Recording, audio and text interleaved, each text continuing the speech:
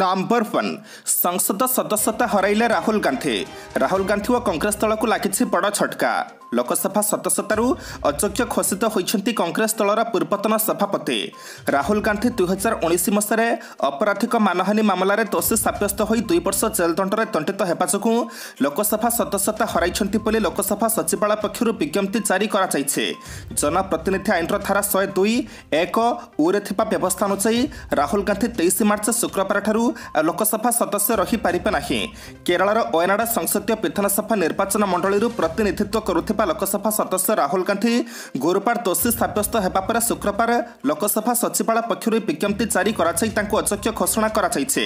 ଉଲ୍ଲେଖଯୋଗ୍ୟ ଗୁଜରାଟ ସୁରତ ସହରର ଏକ ଅଦାଲତ ଗୁରୁବାର କଂଗ୍ରେସ ସାଂସଦ ରାହୁଲ ଗାନ୍ଧୀଙ୍କୁ ମୋଦି ସାଂଖ୍ୟ ଉପରେ କଟୁ ମନ୍ତବ୍ୟ ଦେବା ପାଇଁ ତାଙ୍କ ବିରୋଧରେ ଦାୟର ହୋଇଥିବା ଅପରାଧିକ ମାନହାନି ମାମଲାରେ ଦୋଷୀ ସାବ୍ୟସ୍ତ କରିଥିଲେ।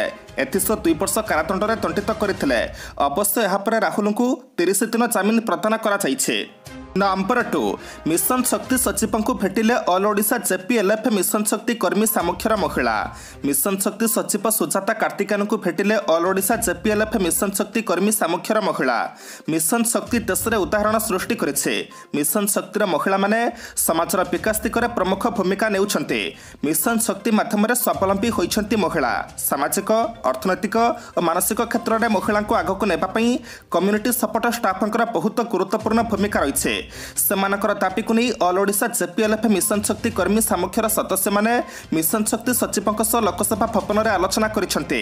ଓଡ଼ିଶା ଜେପିଏଲ୍ଏଫ୍ ମିଶନ ଶକ୍ତି କର୍ମୀ ସାମୁଖ୍ୟ ଅଧ୍ୟକ୍ଷ ସୁବାସ ସିଂଙ୍କ ନେତୃତ୍ୱରେ ଦାବି ଉପସ୍ଥାପନ କରିବା ସହ ଏନେଇ ବିଚାର କରିବାକୁ ଅନୁରୋଧ କରିଛନ୍ତି।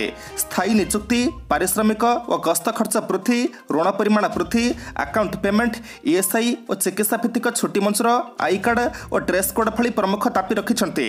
ଏନେଇ ମୁଖ୍ୟମନ୍ତ୍ରୀଙ୍କ ଦୃଷ୍ଟି ଆକର୍ଷଣ କରିବା ପରେ ଦାବି ନେଇ ନିଷ୍ପତ୍ତି ନିଆଯିବ ବୋଲି ମିଶନ ଶକ୍ତି ସଚିବ ସୁଜାତା କାର୍ତ୍ତିକନ୍ ପ୍ରତିଶ୍ରୁତି ଦେଇଛନ୍ତି। ନମ୍ବର ଥ୍ରୀ ଫାଇଭ୍ ଟି ରୂପାନ୍ତରଣ କାର୍ଯ୍ୟକ୍ରମରେ ଆଦିଶକ୍ତି ପୀଠ ତାରାତାରିଣୀର ବଦଳିଛି ରୂପରେଖ। ଫାଇଭ୍ ଟି ରୂପାନ୍ତରଣ କାର୍ଯ୍ୟକ୍ରମରେ ଆଦିଶକ୍ତି ପୀଠ ତାରାତାରିଣୀର ବଦଳିଛି ରୂପରେଖ। ଗଞ୍ଜାମ ଜିଲ୍ଲା ଋଷିକୁଲ୍ୟା ନଦୀତଟ ରତ୍ନଗିରି ପାହାଡ଼ ଶୀର୍ଷରେ ରହିଛି ମାଙ୍କ ଆସ୍ଥାନ। ମୋଟ ବାପନ ଶକ୍ତିପୀଠରୁ ମା ତାରାତାରିଣୀଙ୍କ ପୀଠ ଅନନ୍ୟ। ଆଦିଶକ୍ତି ଭାବେ ମା ତାରାତାରିଣୀ ପୂଜା ପାଉଛନ୍ତି। ମନ୍ଦିରକୁ ଯିବାକୁ ରୋଡ୍ ଓ ରୋପୱେର ବ୍ୟବସ୍ଥା ରହିଛି। ଗତବର୍ଷ ମନ୍ଦିରର ନବୀକରଣ କରାଯାଇଛି। ମାଙ୍କୁ ଦର୍ଶନ କରିବାକୁ ଭକ୍ତ ଏବେ ନୂଆ ଅନୁଭୂତି ପାଉଛନ୍ତି। ଶାନ୍ତ ସୁନ୍ଦର ପରିବେଶରେ ମାଙ୍କ ଦର୍ଶନ କରୁଛନ୍ତି ଭକ୍ତ। ଚୈତ୍ର ପର୍ବ ଚାଲିଥିବାରୁ ଏବେ ସୁବ୍ୟବସ୍ଥିତ ଭାବରେ ଚାଲିଛି ମାଙ୍କ ପୂଜାର୍ଚ୍ଚନା। ଗତବର୍ଷ ମେ ଅଠର ତାରିଖରେ ମୁଖ୍ୟମନ୍ତ୍ରୀ ନବୀନ ପଟ୍ଟନାୟକ ଏହାର ଶୁଭ ଉଦ୍ଘାଟନ କରିଥିଲେ। ଫାଇଭ୍ ଟି ରୂପାନ୍ତରଣରେ ମନ୍ଦିର ଚାରିପାଖ ନବୀକରଣ ସହ ସୌନ୍ଦର୍ଯ୍ୟକରଣ କରାଯାଇଛି। ଏହା ସହ ପ୍ରସାଦ ସେବନ ହଲ୍ ପର୍ଯ୍ୟଟକମାନଙ୍କ ସୁବିଧା ପାଇଁ ଭାଷାନ୍ତର କେନ୍ଦ୍ର ଧ୍ୟାନ ଓ ବିଶ୍ରାମ ନେବା ପାଇଁ ସ୍ୱତନ୍ତ୍ର ହଲ୍ ନିର୍ମାଣ ହୋଇଛି। ଏହି ପଦକ୍ଷେପ ପର୍ଯ୍ୟଟକଙ୍କୁ ଏକ ଦିବ୍ୟ ଅନୁଭୂତି ଦେଉଛି। ଓଡ଼ିଶାର କଳା ଓ ସ୍ଥାପତ୍ୟର କଥା ପଖାଣୁଛି ମନ୍ଦିରର ସିଂହଦ୍ୱାର। ନମ୍ବର ଫୋର୍ ନଗଡ଼ାଠୁ କଳିଙ୍ଗନଗରର ଚିତ୍ର ଆହୁରି କଦର୍ଯ୍ୟ କହିଲେ ବିରୋଧୀ ଦଳ ନେତା। ପୁଣି ବିରୋଧୀ ଦଳ ନେତା ଜୟନାରାୟଣ ମିଶ୍ରଙ୍କ ଟାର୍ଗେଟରେ ମୋ ସରକାର ଏବଂ ଫାଇଭ୍ ଟି। ଶୂନ୍ୟକାଳରେ ରାଜ୍ୟରେ ଅପପୁଷ୍ଟିଜନିତ ପ୍ରସଙ୍ଗ ଉଠାଇ ବିରୋଧୀ ଦଳ ନେତା କହିଛନ୍ତି ନଗଡ଼ାଠୁ କଳିଙ୍ଗନଗର ଚିତ୍ର ଆହୁରି କଦର୍ଯ୍ୟ ରହିଛି। କେବଳ ନଗଡ଼ା କି କଳିଙ୍ଗନଗର ନୁହେଁ ଓଡ଼ିଶାରେ ଉଣେଇଶ ପ୍ରତିଶତ ଛୁଆ କମ୍ ଓଜନର ଜନ୍ମ ହେଉଛନ୍ତି। ରାଜ୍ୟରେ ଏକତିରିଶ ପ୍ରତିଶତ ଛୁଆ ପୁଷ୍ଟିହୀନତା ଓ ଚଉଷଠି ପ୍ରତିଶତ ଶିଶୁ ରକ୍ତହୀନତାର ଶିକାର ହେଉଛନ୍ତି। ସେଭଳି ଏକଷଠି ଦଶମିକ ଆଠ ପ୍ରତିଶତ ଗର୍ଭବତୀ ମହିଳା ରକ୍ତହୀନତାର ଶିକାର ହେଉଛନ୍ତି। ଏଇଟା କ'ଣ ମୋ ସରକାର? ଏଇଟା କ'ଣ ଫାଇଭ୍ ଟି ଏହା କ'ଣ ଓଡ଼ିଶାର ବିକାଶ ବୋଲି କଲେ ପ୍ରଶ୍ନ କରିଛନ୍ତି ଜୟନାରାୟଣ ବିଭାଗୀୟ ମନ୍ତ୍ରୀ ଏନେଇ ଗୃହରେ ଏକ ବିବୃତ୍ତି ରଖନ୍ତୁ ବୋଲି ଦାବି କରିଛନ୍ତି ବିରୋଧୀ ଦଳ ନେତା ଜୟନାରାୟଣ ମିଶ୍ର। ଅପପୁଷ୍ଟି ପ୍ରସଙ୍ଗରେ ବିରୋଧୀ ଦଳ ନେତାଙ୍କୁ ଜବାବ ଦେଇଛନ୍ତି ବିଜେଡି ବିଧାୟକ ଅମର ଶତପଥୀ। ସେ କହିଛନ୍ତି ନଗଡ଼ା ଯାଇ ଦେଖି ଆସନ୍ତୁ ବିରୋଧୀ ଦଳ ନେତା। କ'ଣ ପାଇଁ ରାଜ୍ୟକୁ ବଦନାମ କରୁଛନ୍ତି ନେତା? ନଗଡ଼ା ସାଙ୍ଗକୁ ସୁକିନ୍ଦାକୁ ବଦନାମ କରିବାକୁ କିଏ ଦେଲା ଅଧିକାର? ସେଠି ସରକାର କ'ଣ ସବୁ କଲେଣି? ପୁଷ୍ଟିଜାତୀୟ ଖାଦ୍ୟ ଯୋଗାଇ ନୂଆ ରୂପ ଦେଇଛନ୍ତି ଆମ ସରକାର। Number five. ରାହୁଲ ପ୍ରସଙ୍ଗରେ କଂଗ୍ରେସ ବିଜେପି ମୁହାଁମୁହିଁ। ଗଣତନ୍ତ୍ରର ହତ୍ୟା ବୋଲି କହିଲା କଂଗ୍ରେସ। ରାହୁଲ ଗାନ୍ଧୀଙ୍କ ସଂସଦ ସଦସ୍ୟ ପଦ ରଦ୍ଦ ହେବାକୁ ନେଇ କଂଗ୍ରେସ ବିଜେପି ମୁହାଁମୁହିଁ ହୋଇଛନ୍ତି। ଆଦାନୀ ପ୍ରସଙ୍ଗ ଉଠାଉଥିବା ରାହୁଲଙ୍କୁ ଚୁପ୍ କରିବାକୁ ବିଜେପି ଏପରି କରିଛି ବୋଲି କଂଗ୍ରେସ କହିଛି। ଆଦାନୀ ପ୍ରସଙ୍ଗ ମୁଦ୍ରାସ୍ଫୀତି ଆଦି ପ୍ରସଙ୍ଗରୁ ଲୋକଙ୍କ ଧ୍ୟାନ ହଟାଇବାକୁ ବିଜେପି ଏପରି କରୁଛି। ଏହା ଗଣତନ୍ତ୍ରର ହତ୍ୟା ବୋଲି କଂଗ୍ରେସ କହିଛି। ଏହା ଏକଛତ୍ରପାତ ଶାସନର ଏକ ନଗ୍ନ ଉଦାହରଣ ବୋଲି କଂଗ୍ରେସ ସାଂସଦ ଅଧୀର ରଞ୍ଜନ ଚୌଧୁରୀ କହିଛନ୍ତି। ଅନ୍ୟ ଅନ୍ୟପକ୍ଷରେ ବିଜେପି ନେତା ତଥା କେନ୍ଦ୍ରମନ୍ତ୍ରୀ ଧର୍ମେନ୍ଦ୍ର ପ୍ରଧାନ କହିଛନ୍ତି ଯେ ଯେଉଁମାନେ ବିଜେପିକୁ ଦାୟୀ କରୁଛନ୍ତି ସେମାନେ ମନେ ରଖିବା ଉଚିତ ଯେ ମନମୋହନ ସରକାରଙ୍କ ଅଧ୍ୟାଦେଶକୁ ରାହୁଲ ଚିରି ଦେଇଥିଲେ। ବିଜେପିର ବରିଷ୍ଠ ନେତା ତଥା କେନ୍ଦ୍ରମନ୍ତ୍ରୀ ଅନୁରାଗ ଠାକୁର କହିଛନ୍ତି ଯେ ରାହୁଲ ଗାନ୍ଧୀ କହୁଥିଲେ ଦୁର୍ଭାଗ୍ୟବଶତଃ ମୁଁ ଜଣେ ସାଂସଦ। ଏଣୁ ଆଜି ସେମାନେ ଯାହା ଦୁର୍ଭାଗ୍ୟଜନକ ମନେ କରୁଥିଲେ ସେଥିରୁ ମୁକ୍ତି ପାଇଛନ୍ତି। ୱାୟନାଡାର ଲୋକମାନେ ମଧ୍ୟ ଏଥିରୁ ମୁକ୍ତି ପାଇଛନ୍ତି। ସେ ପ୍ରଶ୍ନ କରିଛନ୍ତି ଯେ କଂଗ୍ରେସରେ କିଏ ଏହି ଷଡ଼ଯନ୍ତ୍ର କରିছে ରାହୁଲଙ୍କ ବିପକ୍ଷରେ କିଏ ଖେଳ ଖେଳିଲା? ଯଦି ପବନ ଖେରାଙ୍କ ପାଇଁ ଓକିଲମାନେ ତୁରନ୍ତ ପହଞ୍ଚି ପାରୁଥାନ୍ତି ତେବେ ତାଙ୍କ ପାଇଁ କାହିଁକି ପହଞ୍ଚି ପାରିଲେ ନାହିଁ? ନମ୍ବର ସିକ୍ସ ଶୂନ୍ୟକାଳରେ କେନ୍ଦ୍ର ଅପହେଳା କଥା ଉଠାଇଲା ବିଜେଡି ଜବାବ ରଖିଲା ବିଜେପି। ଶୂନ୍ୟକାଳରେ କେନ୍ଦ୍ର ଅପହେଳା କଥା ଉଠାଇଲେ ବିଜେଡି ବିଧାୟକ ଅରୁଣ ସାହୁ। ଗମନାଗମନ ପ୍ରସଙ୍ଗକୁ ନେଇ କେନ୍ଦ୍ର ସରକାରଙ୍କୁ ଟାର୍ଗେଟ କଲେ ବିଜେଡି ବିଧାୟକ। ଖୋର୍ଦ୍ଧା ବଲାଙ୍ଗୀର ପ୍ରକଳ୍ପ ଉଠାଇ ସେ କହିଥିଲେ ରେଳ ବଜେଟ୍ରେ କେନ୍ଦ୍ର ସରକାର ଯାହା ଅର୍ଥ ଘୋଷଣା କରନ୍ତି ତାହା ଦିଅନ୍ତିନି। ଏବେ ବି ଓଡ଼ିଶାର ବହୁ ଜିଲ୍ଲାକୁ ରେଳ ସଂଯୋଗ ହୋଇନାହିଁ। ଜାତୀୟ ରାଜପଥ ପ୍ରସଙ୍ଗ ଉଠାଇ ବିଧାୟକ କହିଥିଲେ କେନ୍ଦ୍ର କେବଳ ବଡ଼ ବଡ଼ ଘୋଷଣା କରୁଛନ୍ତି ହେଲେ ଦେଉନାହାନ୍ତି। କେନ୍ଦ୍ର ସରକାର କେତେ ଟଙ୍କା ଦେଇଛନ୍ତି ଓ କେତେ ଖର୍ଚ୍ଚ କରିଛନ୍ତି ହିସାବ ଦିଅନ୍ତୁ। ତେଣୁ ବାଚସ୍ପତି ରୁଲିଂ ଦିଅନ୍ତୁ। ସେପଟେ ଅରୁଣ ସାହୁଙ୍କୁ କଡ଼ା ଜବାବ ଦେଇ ବିଜେପି ବିଧାୟକ ସୁବାସ ପାଣିଗ୍ରାହୀ କହିଥିଲେ କେନ୍ଦ୍ର ଟଙ୍କା ଦେଉଥିଲେ ବି ରାଜ୍ୟ ସରକାର ଜମି ଯୋଗାଇ ଦେଉନାହାନ୍ତି। ତାଳଚେର ବିମଳାଗଡ଼ ରେଳ ଲାଇନ୍ ପାଇଁ କ୍ରମାଗତ ଟଙ୍କା ଆସୁଥିଲେ ବି ରାଜ୍ୟ ସରକାର ଜମି ଦେଉନଥିବାରୁ କାମ ଆଗେଇ ପାରୁନି। ତେଣୁ ବାଚସ୍ପତି ରୁଲିଂ ଦିଅନ୍ତୁ। ସରକାର କେବେ ସୁଦ୍ଧା ଜମି ଯୋଗାଇ ତାର ଉତ୍ତର ଗୃହରେ ରଖନ୍ତୁ ବୋଲି ଗୃହରେ ଦାବି କରିଥିଲେ ବିଜେପି ବିଧାୟକ। ନମ୍ବର ସେଭେନ୍ ପାରାଦୀପକୁ ପେଟ୍ରୋକେମିକାଲ ହବ୍ କରାଯିବ କହିଲେ ଶିଳ୍ପମନ୍ତ୍ରୀ। ପୁଞ୍ଜିନିବେଶର ଜାତୀୟ ହାରଠାରୁ ଓଡ଼ିଶା ଆଗରେ ରହିଛି। ଜାତୀୟ ହାର ବାଇଶ ପ୍ରତିଶତ ଥିବାବେଳେ ଓଡ଼ିଶାରେ ରହିଛି ପଇଁଚାଳିଶରୁ ସଡ଼ଚାଳିଶ ପ୍ରତିଶତ। ବିଧାନସଭାରେ ଏଭଳି ତଥ୍ୟ ରଖିଛନ୍ତି ଶିଳ୍ପମନ୍ତ୍ରୀ ପ୍ରତାପ କେଶରୀ ଦେବ। ସେ କହିଛନ୍ତି ମେକ୍ ଇନ୍ ଓଡ଼ିଶା ଦୁଇହଜାର ବାଇଶ ଜରିଆରେ ସାତଶହ ଏକଚାଳିଶ ଶିଳ୍ପ ପାଇଁ ଆଗ୍ରହ ପ୍ରସ୍ତାବ ଆସିଛି। ଏହା କାର୍ଯ୍ୟକ୍ଷମ ହେଲେ ଦଶ ଲକ୍ଷ ଅଡ଼ଚାଳିଶ ହଜାର ଆଠଶହ ସାତ କୋଟି ଟଙ୍କାର ନିବେଶ ସୂଚକ ଆସିବ। ଏଥିରେ ଦଶ ଲକ୍ଷ ସଇଁତିରିଶ ହଜାର ଆଠଶହ ଏକ ନିଯୁକ୍ତି ସୃଷ୍ଟି ହେବ। ଏଯାଏଁ ସେ ଛପନଟି ବୃହତ ଶିଳ୍ପ ଆଂଶିକ ଓ ପୂର୍ଣ୍ଣ କାର୍ଯ୍ୟକ୍ଷମ ହୋଇଛି। ସାତଟି ବୃହତ ଶିଳ୍ପ କାର୍ଯ୍ୟକାରୀ ହେଉଛି। ପ୍ଲାଣ୍ଟ ଲେବୁଲ ପରାମର୍ଶଦାତା କମିଟି ଓ ପ୍ଲାଣ୍ଟ ଲେବୁଲ କନସଲ୍ଟିଭ କମିଟି ଜରିଆରେ ଜିଲ୍ଲା ସ୍ତରରେ ଅନୁମୋଦନ ମିଳୁଛି। ତେବେ କ୍ୟାପିଟାଲ ଇଣ୍ଡଷ୍ଟ୍ରିରେ ନିଯୁକ୍ତି କମିବାର କାରଣ ହେଉଛି ଯେ ବଡ଼ ବଡ଼ ଶିଳ୍ପ ସଂସ୍ଥା ଟେକ୍ନୋଲୋଜି ବ୍ୟବହାରକୁ ଗୁରୁତ୍ୱ ଦେଉଛନ୍ତି ମାନବ ସମ୍ବଳକୁ ନୁହେଁ କାରଣ ସେମାନେ କୋଟି କୋଟି ଟଙ୍କା ନିବେଶ କରିଛନ୍ତି। ଏ ପରିସ୍ଥିତିରେ ଡାଉନଷ୍ଟ୍ରିମ୍ ଇଣ୍ଡଷ୍ଟ୍ରି ଆବଶ୍ୟକ। ଏଥିପାଇଁ ଛତିଶଟି ଶିଳ୍ପ ସଂସ୍ଥା ସହ ଚୁକ୍ତି ହୋଇଛି ଯେଉଁଥିରେ ଅଧିକାଂଶ ଟାଟା କମ୍ପାନୀର। ଏଣେ ପାରାଦୀପକୁ ପେଟ୍ରୋକେମିକାଲ ହବ୍ କରାଯିବ ବୋଲି ଶିଳ୍ପମନ୍ତ୍ରୀ ପ୍ରତାପ କେଶରୀ ଦେବ ବିଧାନସଭାରେ ଘୋଷଣା କରିଛନ୍ତି। ନମ୍ବର ଇଟ୍ ଗନ୍ଧମାର୍ଦ୍ଦନକୁ ମିଳିଲା ଜୈବ ବିବିଧ ଐତିହ୍ୟ ସ୍ଥଳ ମାନ୍ୟତା। ଗନ୍ଧମାର୍ଦ୍ଦନ ପର୍ବତକୁ ମିଳିଲା ବିଏଚ୍ଏସ୍ ମାନ୍ୟତା। ବାୟୋଡାଇଭର୍ସିଟି ହେରିଟେଜ୍ ସାଇଟ୍ ବା ଜୈବ ବିବିଧ ଐତିହ୍ୟ ସ୍ଥଳର ମାନ୍ୟତା ପାଇଲା ବଲାଙ୍ଗୀର ଓ ବରଗଡ଼ ଫରେଷ୍ଟ ଡିଭିଜନର ଗନ୍ଧମାର୍ଦ୍ଦନ ପର୍ବତ। ରାଜ୍ୟର ତୃତୀୟ ବିଏଚ୍ଏସ୍ ମାନ୍ୟତା ପାଇଛି ଗନ୍ଧମାର୍ଦ୍ଦନ ଆଗରୁ କନ୍ଧମାଳ ଜିଲ୍ଲାର ମଣ୍ଡାସୁର ଚର୍ଚ୍ଚ ଏବଂ ଗଜପତି ଜିଲ୍ଲାର ମହେନ୍ଦ୍ର ତନୟାକୁ ମିଳିଛି ବିଏଚ୍ଏସ୍ ମାନ୍ୟତା।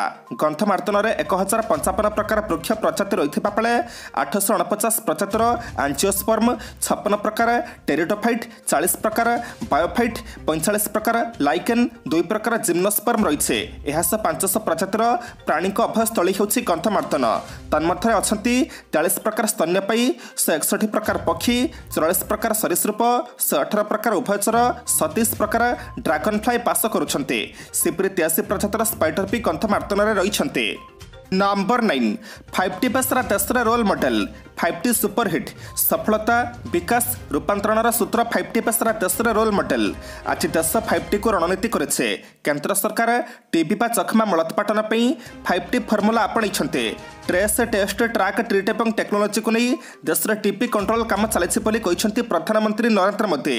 ଟିବି ବିରୋଧରେ ଭାରତର ଏହି ଫାଇଭ୍ ଟି ଫର୍ମୁଲାରେ ବିଶ୍ୱସ୍ତରୀୟ ଦକ୍ଷତା ଲୁଚି ରହିଛି। ପ୍ରଧାନମନ୍ତ୍ରୀଙ୍କ ଏହି ଉକ୍ତିକୁ କେନ୍ଦ୍ରମନ୍ତ୍ରୀ ଧର୍ମେନ୍ଦ୍ର ପ୍ରଧାନ ଟ୍ୱିଟ୍ କରି ବାର୍ତ୍ତା ଦେଇଛନ୍ତି। ମୁଖ୍ୟ କଥା ହେଲା ପ୍ରଧାନମନ୍ତ୍ରୀଙ୍କ ଉକ୍ତି ପରେ ବିରୋଧୀ ଦଳ ନେତା ଜୟନାରାୟଣ ମିଶ୍ରଙ୍କୁ ମିଳିଯାଇଥିବା ଜବାବ। ରାଜ୍ୟରେ ବିକାଶ ନେଇ ପ୍ରଶାସନିକ ସ୍ତରରେ ସରକାର ଫାଇଭ୍ ଟି ଉପକ୍ରମ ଆଣିଛନ୍ତି। ଯାହାଦ୍ୱାରା ରାଜ୍ୟରେ ବିକାଶର ସ୍ପିଡ୍ ବଢ଼ିଛି। ହେଲେ ଏହି ବିକାଶରେ ହୋସ୍ ହରାଇ ରାଜ୍ୟ ବିଜେପି ଫାଇଭ୍ ଟି କ'ଣ ବୋଲି ପଚାରି ଚାଲିଛି ବିରୋଧୀ ଦଳ ନେତା ଫାଇଭ୍ ଟି କ'ଣ ବୁଝିପାରୁନାହାନ୍ତି ରାଜ୍ୟ ମାମଲାରେ କେନ୍ଦ୍ରମନ୍ତ୍ରୀ ଧର୍ମେନ୍ଦ୍ର ପ୍ରଧାନ ସମ୍ପୂର୍ଣ୍ଣ ଚୁପ୍ ଥିବା ବେଳେ ପ୍ରଧାନମନ୍ତ୍ରୀଙ୍କ ଫାଇଭ୍ ଟି ଫର୍ମୁଲାକୁ ଟ୍ୱିଟ୍ କରି ଦେଶରେ ବାର୍ତ୍ତା ବାଣ୍ଟୁଛନ୍ତି ନମ୍ବର ଟେନ୍କୁ ଯିବା ପୂର୍ବରୁ ଆପଣମାନଙ୍କୁ ଅନୁରୋଧ ଭିଡ଼ିଓଟିକୁ ଶେଷ ପର୍ଯ୍ୟନ୍ତ ଦେଖନ୍ତୁ। କାରଣ ଭିଡ଼ିଓର ଶେଷରେ ରହିଛି ଆଜିର ରାଶିଫଳ। କିନ୍ତୁ ତା ପୂର୍ବରୁ ଭିଡ଼ିଓଟିକୁ ଲାଇକ୍ କରିଦିଅନ୍ତୁ।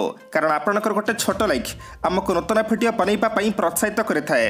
ସାଥିରେ ଆପଣମାନେ କେଉଁ କେଉଁ ଜିଲ୍ଲାରୁ ଭିଡ଼ିଓଟିକୁ ଦେଖୁଛନ୍ତି କମେଣ୍ଟ ବକ୍ସରେ ନିଶ୍ଚୟ ଲେଖନ୍ତୁ। ନମ୍ବର ଟେନ୍ ଏଣିକି ଏକ ଘଣ୍ଟାର ଯାତ୍ରା ଷୋହଳ ମିନିଟ୍ରେ ହେବ ଶେଷ। ପ୍ରଧାନମନ୍ତ୍ରୀ ନରେନ୍ଦ୍ର ମୋଦି ଶୁକ୍ରବାର ବାରାଣସୀରେ ସତରଶହ ଅଶୀ କୋଟି ଟଙ୍କାରୁ ଅଧିକ ମୂଲ୍ୟର ବିଭିନ୍ନ ପ୍ରକଳ୍ପର ଲୋକାର୍ପଣ ଓ ଶିଳାନ୍ୟାସ କରିଛନ୍ତି। ଏହି ପ୍ରକଳ୍ପ ମଧ୍ୟରେ ଏକ ରୋପୱେ ବି ସାମିଲ ରହିଛି। ଏହି ରୋପୱେ ବାରାଣସୀ କ୍ୟାଣ୍ଟନମେଣ୍ଟ ଷ୍ଟେସନରୁ ଗଦାଲିଆ ପର୍ଯ୍ୟନ୍ତ ନିର୍ମାଣ ହେବ। ଏହି ପ୍ରକଳ୍ପର ଆକଳିତ ବ୍ୟୟ ପ୍ରାୟ ଛଅଶହ ପଇଁଚାଳିଶ କୋଟି ଟଙ୍କା ହେବ ବୋଲି କୁହାଯାଇଛି। ସୂଚନା ଅନୁସାରେ ପାଞ୍ଚଟି ଷ୍ଟେସନ ସହିତ ରୋପୱେ ସିଷ୍ଟମର ଲମ୍ବ ପ୍ରାୟ ତିନି ଦଶମିକ ପଚସ୍ତରୀ କିଲୋମିଟର ହେବ। ଏହି ରୋପୱେର ନିର୍ମାଣ ହେଲେ କାଶୀ ବିଶ୍ୱନାଥ କରିଡର ପର୍ଯ୍ୟନ୍ତ ଯାତ୍ରା ସହଜ ହୋଇଯିବ ବୋଲି କୁହାଯାଉଛି ପ୍ରଥମ ପର୍ଯ୍ୟାୟରେ ରୋପୱେ ବାରାଣସୀ ରେଳ ଷ୍ଟେସନରୁ ଗଦାଲିଆ ପର୍ଯ୍ୟନ୍ତ ନିର୍ମିତ ହେବ। ଭିଡ଼ ସ୍ଥାନରେ ରୋପୱେ ନିର୍ମାଣ କରାଗଲେ କାଶୀ ବିଶ୍ୱନାଥ ମନ୍ଦିର ଦଶାଶ ମେଘ ଘାଟକୁ ଯିବା ସୁବିଧା ହେବ। ବିଶେଷ କଥାଟି ହେଉଛି ରୋପୱେ ନିର୍ମିତ ହେଲେ ତିନି ଦଶମିକ ଆଠ କିଲୋମିଟର ଯାତ୍ରା ଷୋହଳ ମିନିଟ୍ରେ ଶେଷ ହେବ। ଏବେ ରାସ୍ତାରେ ଯାଉଥିବା ଲୋକଙ୍କୁ ଘଣ୍ଟା ଘଣ୍ଟା ଧରି ଜାମ୍ରେ ଛିଡ଼ା ହେବାକୁ ପଡ଼ୁଛି। ମିଳିଥିବା ସୂଚନା ଅନୁସାରେ ଏହି ରୋପୱେ ପଚାଶ ମିଟର ଉଚ୍ଚରେ ନିର୍ମିତ ହେବ। ଏଥିରେ ପାଖାପାଖି ଶହେ ପଚାଶଟି ଟ୍ରଲି କାର୍ଡ ଚାଲିବ। ଗୋଟିଏ ଟ୍ରଲିରେ ଦଶ ଜଣ ଯାତ୍ରୀ ବସି ଯାତ୍ରା କରିପାରିବେ। ନମ୍ବର ଇଲେଭେନ୍ ରାହୁଲ ଗାନ୍ଧୀଙ୍କ ସଦସ୍ୟ ପଦ ରଦ୍ଦ ହେବା ପଛରେ ସୁଚିନ୍ତିତ ଷଡ଼ଯନ୍ତ୍ର ରହିଛି କହିଲେ ନରସିଂହ ମିଶ୍ର। କଂଗ୍ରେସର ପୂର୍ବତନ ଅଧ୍ୟକ୍ଷ ରାହୁଲ ଗାନ୍ଧୀଙ୍କ ସଂସଦରେ ସଭ୍ୟ ପଦ ରଦ୍ଦ କରିବା ପ୍ରମାଣିତ କରିଛି ଯେ ଏହା ପଛରେ ରହିଛି ଏକ ସୁଚିନ୍ତିତ ଷଡ଼ଯନ୍ତ୍ର। ଓଡ଼ିଶା କଂଗ୍ରେସର ବରିଷ୍ଠ ନେତା ତଥା କଂଗ୍ରେସ ବିଧାୟକ ଦଳର ନେତା ନରସିଂହ ମିଶ୍ର ଶୁକ୍ରବାର ଏହା କହିଛନ୍ତି ରାହୁଲ ଗାନ୍ଧୀ ଷଡ଼ଯନ୍ତ୍ରର ଶିକାର ହୋଇଛନ୍ତି ଆଉ ଏହା ପ୍ରମାଣିତ କରିଦେଇଛି ଯେ ଆମେ ଆଗରୁ କହୁଥିଲୁ ଗଣତନ୍ତ୍ର ଧ୍ୱଂସ ହୋଇଛି। ଭାରତବର୍ଷର ଗଣତନ୍ତ୍ର ବୋଲି କିଛି ନାହିଁ ସବୁ ପରମ୍ପରାକୁ ପଛରେ ପକାଇ ଗଣତାନ୍ତ୍ରିକ ପରମ୍ପରାକୁ ଆଖିରେ ନ ରଖି ତରଫରିଆ ଭାବରେ ସଭ୍ୟ ପଦ ରଦ୍ଦ କରାଯାଇଛି। କଂଗ୍ରେସ ଉପର ଅଦାଲତକୁ ଯିବ। ରାହୁଲ ଗାନ୍ଧୀ ଉପର ଅଦାଲତକୁ ଯିବେ ଏବଂ ନ୍ୟାୟର ଜୟ ହେବ। ସାରା ଭାରତବର୍ଷରେ ଏହାର ପ୍ରତିବାଦ ହେବ। ଏ ପ୍ରସଙ୍ଗରେ ବିରୋଧୀ ଦଳ ନେତା ଜୟନାରାୟଣ ମିଶ୍ର କହିଛନ୍ତି ରାହୁଲ ଗାନ୍ଧୀ ହେଲେ ବୋଲି ତାଙ୍କ ପାଇଁ କ'ଣ ନିୟମ ଲାଗୁ ହେବ ନାହିଁ କି? ନିୟମ ସମସ୍ତଙ୍କ ପାଇଁ ସମାନ। ତାଙ୍କ ସମୟରେ ନିୟମ ହୋଇଥିଲା ଯେଉଁମାନଙ୍କୁ ଦୁଇ ବର୍ଷରୁ ଅଧିକ ସଜା ହେବ ସେମାନଙ୍କ ସଦସ୍ୟ ପଦ ରଦ୍ଦ ହେବ। ଏଥିରେ କାହାର କିଛି କହିବାର ନାହିଁ। ଦୁଇ ବର୍ଷ ସଜା ହେଲା ସେଥିପାଇଁ ସଦସ୍ୟ ପଦ କଲା। ଏହା ନିୟମ। ନମ୍ବର ଟୁଏଲ୍ଭ କୋରାପୁଟ ଜିଲ୍ଲାରେ ପଢ଼ୁଛନ୍ତି ଚକମା ରୋଗୀ। ପାଞ୍ଚ ବର୍ଷରେ ଏଗାର ହଜାର ଆଠଶହ ଅଣଷଠି ରୋଗୀ ଚିହ୍ନଟ। କୋରାପୁଟ ଜିଲ୍ଲାରେ ସମ୍ପୂର୍ଣ୍ଣ ନିୟନ୍ତ୍ରଣକୁ ଆସିପାରିନି ଚକମା ପ୍ରତିବର୍ଷ ରୋଗୀଙ୍କ ସଂଖ୍ୟାରେ ବୃଦ୍ଧି ଦେଖିବାକୁ ମିଳିଛି। ଗତ ପାଞ୍ଚ ବର୍ଷର ତଥ୍ୟକୁ ଅନୁଧ୍ୟାନ କଲେ ଏମିତି ଉଦ୍ବେଗଜନକ ଚିତ୍ର ସାମ୍ନାକୁ ଆସୁଛି। ପାଞ୍ଚ ବର୍ଷ ମଧ୍ୟରେ ଏଗାର ହଜାର ଆଠଶହ ଅଣଷଠି ଜଣ ରୋଗୀ ଚିହ୍ନଟ ହୋଇସାରିଲେଣି। ଦଶ ହଜାର ସାତଶହ ଅଠାବନ ଜଣ ରୋଗୀ ନିୟମିତ ଔଷଧ ସେବନ ସହ ନିଜ ସ୍ୱାସ୍ଥ୍ୟର ଯତ୍ନ ନେଇଥିବାରୁ ସୁସ୍ଥ ହୋଇଛନ୍ତି। ଔଷଧ ସେବନରେ ଅବହେଳା ତଥା ଅନ୍ୟ କାରଣରୁ ଏଗାରଶହ ଏକ ଜଣଙ୍କ ମୃତ୍ୟୁ ହୋଇଥିବା ସୂଚନା ମିଳିଛି। ଅନ୍ୟପଟେ କେନ୍ଦ୍ର ସରକାରଙ୍କ ପକ୍ଷରୁ ଠିକ୍ ସମୟରେ ଔଷଧ ନ ମିଳିବାରୁ ଗତ ଦିନରେ ବଡ଼ ସମସ୍ୟା ଉପୁଜିଥିଲା। କୋରାପୁଟ ଜିଲ୍ଲାରେ ଦୁଇ ହଜାର ଅଠର ମସିହାରେ ଉଣେଇଶହ ନଅ ଜଣ ରୋଗୀ ଚିହ୍ନଟ ହୋଇ ଅଠରଶହ ପଇଁଚାଳିଶ ରୋଗୀ ସୁସ୍ଥ ହୋଇଥିଲେ। ପରବର୍ତ୍ତୀ ସମୟରେ ରୋଗୀଙ୍କ ସଂଖ୍ୟା ବଢ଼ି ଚାଲିଛି। ଦୁଇ ହଜାର ଉଣେଇଶ ମସିହାରେ ତେଇଶଶହ ଏକାନବେ ଜଣ ଚିହ୍ନଟ ହୋଇ ଏକୋଇଶହ ତିରିଶ ଜଣ ସୁସ୍ଥ ହୋଇଥିଲେ। ଦୁଇ ହଜାର କୋଡ଼ିଏ ମସିହାରେ ଚବିଶହ ବୟାନବେ ଜଣ ଚିହ୍ନଟ ହୋଇଥିଲେ। ସେଥିରୁ ବାଇଶହ ଅଣଚାଳିଶ ଜଣ ଭଲ ହୋଇଛନ୍ତି। ଦୁଇ ହଜାର ଏକୋଇଶ ମସିହାରେ ମଧ୍ୟ ପୂର୍ବ ବର୍ଷ ତୁଳନାରେ ରୋଗୀଙ୍କ ସଂଖ୍ୟା ବୃଦ୍ଧି ପାଇଥିଲା। ବର୍ଷକ ମଧ୍ୟରେ ପଚିଶଶହ ଏକଚାଳିଶ ଜଣ ଚିହ୍ନଟ ହୋଇ ବାଇଶହ ସତସ୍ତରୀ ଜଣ ସୁସ୍ଥ ହୋଇଛନ୍ତି। ଗତବର୍ଷ ଅର୍ଥାତ୍ ଦୁଇ ହଜାର ବାଇଶ ମସିହା ଡିସେମ୍ବର ମାସ ସୁଦ୍ଧା ପଚିଶଶହ ଛବିଶ ଜଣ ରୋଗୀ ଚିହ୍ନଟ ହୋଇ ତେଇଶଶହ ସତେଇଶ ଜଣ ସୁସ୍ଥ ହୋଇଛନ୍ତି।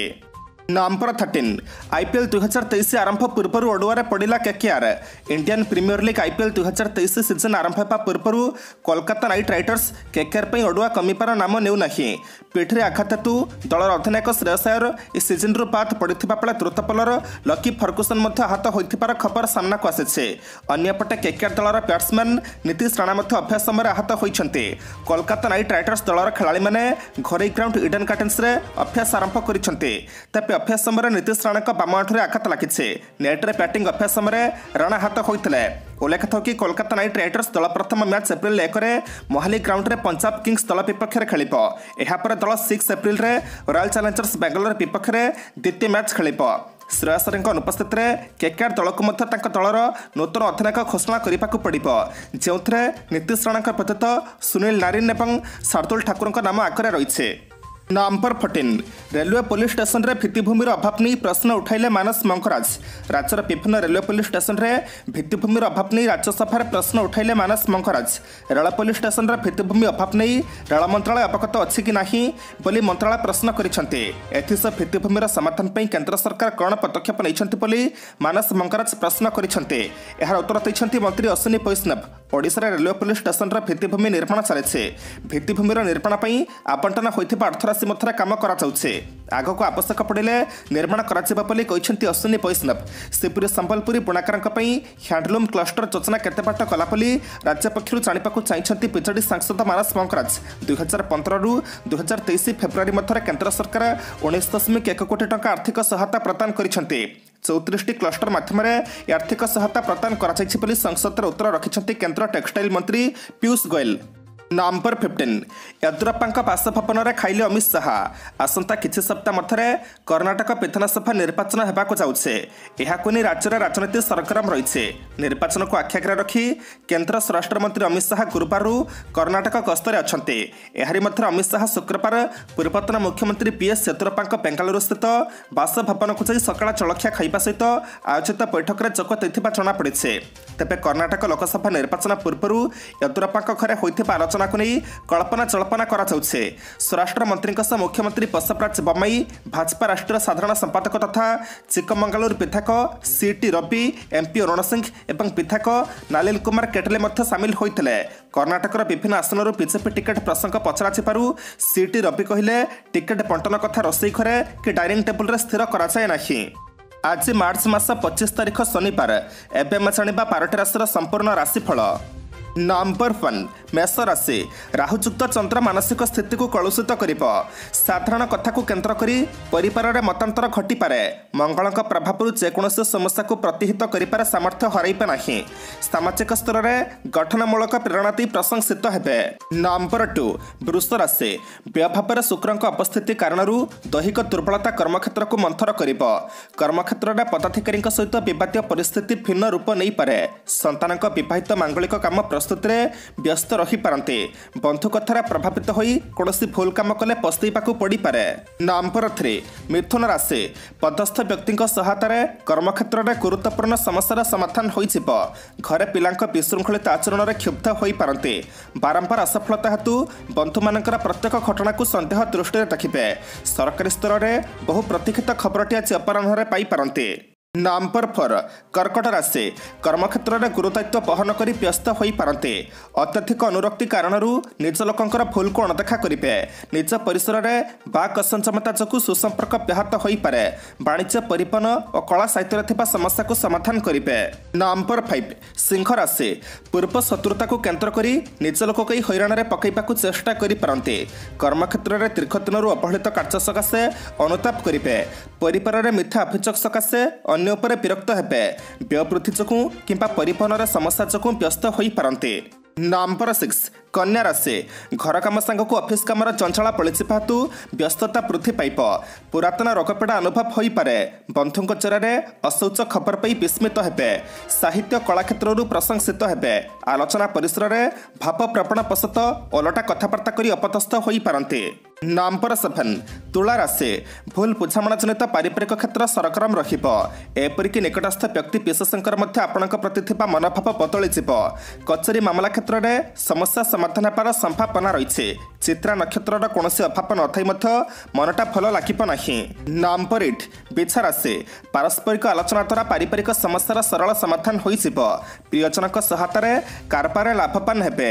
କର୍ମକ୍ଷେତ୍ରରେ ଆଜି ହିଁ ଶେଷ କରିବାକୁ ଭାବୁଥିବା କାମଟିକୁ ଶେଷ କରିପାରିବେନି। ଫେରନ୍ତା ରାସ୍ତାରେ ବନ୍ଧୁଙ୍କ ସକାଶେ ପ୍ରତୀକ୍ଷା ଜନିତ ଯନ୍ତ୍ରଣା ତୀବ୍ର ହେବ। ନମ୍ବର ନାଇନ୍ ଧନୁ ରାଶି ପରିବାରର ସହମତି ଓ ବନ୍ଧୁଙ୍କ ଅକୁଣ୍ଠ ସାହାଯ୍ୟ ସହାନୁଭୂତିରୁ କର୍ମାରମ୍ଭ ପ୍ରୀତିପଦ ହେବ। ପ୍ରଶାସନିକ କ୍ଷେତ୍ରରେ ଦ୍ୱନ୍ଦ୍ୱ ଦୂର ହେବାରୁ ଆଶ୍ୱସ୍ତି ଲଭିବେ। ସାଧାରଣ ବଚସାରୁ ବନ୍ଧୁଙ୍କ ସହ ସମ୍ପର୍କ ଯୋଗୁଁ ଚିନ୍ତା ପ୍ରକଟ କରିବେ। ସ୍ତ୍ରୀଙ୍କ ସହ ମତ ପାର୍ଥକ୍ୟ ଦେଖା ଦେଇପାରେ। ମହିଳାମାନେ ସାମାନ୍ୟ ଶାରୀରିକ ଅସ୍ୱସ୍ତି ଅନୁଭବ କରିବେ।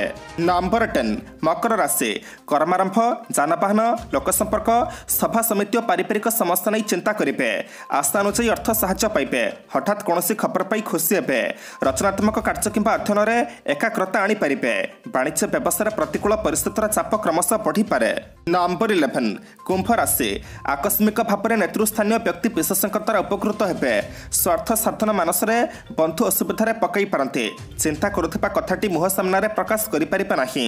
ଜମିଜମା ବାଦ ବିବାଦ କ୍ରମେ ଜଟିଳ ହୋଇପାରେ। ନମ୍ବର ଟୁଏଲ୍ଭ ମୀନ ରାଶି। ଆଜି ତିନୋଟିରେ ତରପରିଆ ପଦକ୍ଷେପ ନେବା ଠିକ୍ ହେବ ନାହିଁ। ଖଳ ଲୋକମାନଙ୍କ ଶୁଣା କଥାକୁ ବିଶ୍ୱାସ କଲେ ଅସୁବିଧାର ସମ୍ମୁଖୀନ ହୋଇପାରନ୍ତି। ଭଲ ସମ୍ପର୍କ ରହିଥିବା ଗୁରୁଜନଙ୍କ ସାନ୍ତ୍ୱନା ପାଣି ମନରେ ଆଶ୍ୱସ୍ତି ଭରିପାରେ। ପରିବାରର ଖର୍ଚ୍ଚ ଫାରଚକୁ ଚିନ୍ତା ପ୍ରକଟ କରିପାରନ୍ତି।